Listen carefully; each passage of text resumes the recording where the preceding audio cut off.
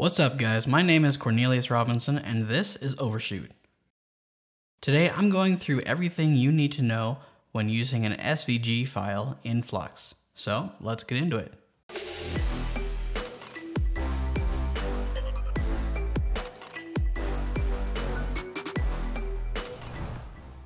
When you upload an SVG file to your assets, you can use it in a couple of different ways. When creating a new part, you can use an SVG as the symbol.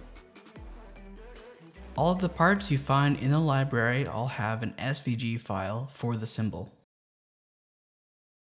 Another neat thing you can do is use that SVG to add graphics to your board. For example, this board was made by a Flux expert named Vasyl.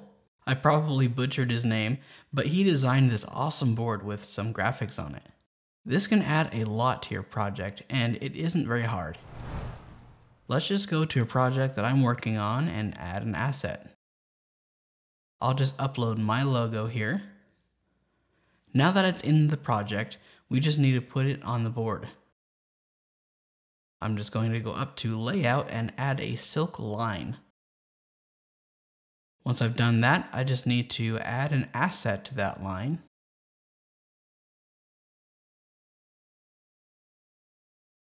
Now it might look like nothing happened, but it's here. It's just really big. If I zoom to fit, you can see it and I can zoom back into the board to give you a sense of scale. The reason for this is because the default unit is in meters. From what I hear, the Flux team is working on fixing this, but for now we can simply add a scale rule. Set it to a small number,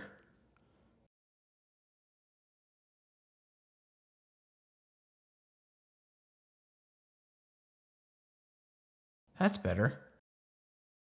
Actually, I think I'll just make this a little smaller. Alright, another graphic I like to use is the Flux logo. Just search for it in the library and drag it in.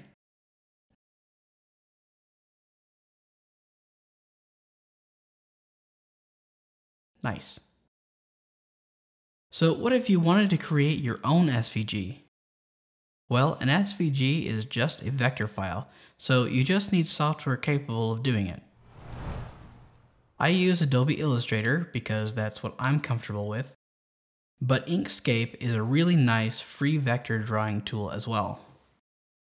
If I were creating a custom diode symbol, for example, I'd make an outline with a 1 pixel stroke and no fill.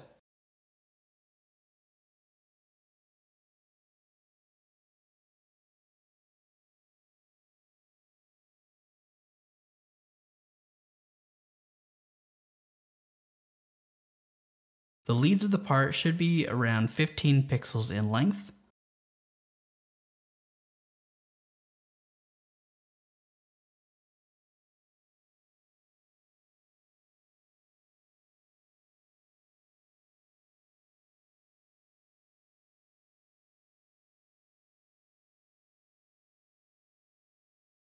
Before exporting, you want to make sure the symbol is white so it shows up properly in Flux.